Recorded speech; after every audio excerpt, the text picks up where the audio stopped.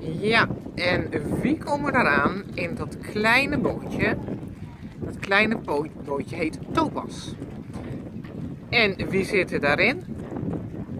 Opa Willy en Fine zitten erin. Fine, hoe vind je het? Een duim! Nou, het krijgt een duim van Fine. Dat wil zeggen dat ze het heel leuk vindt.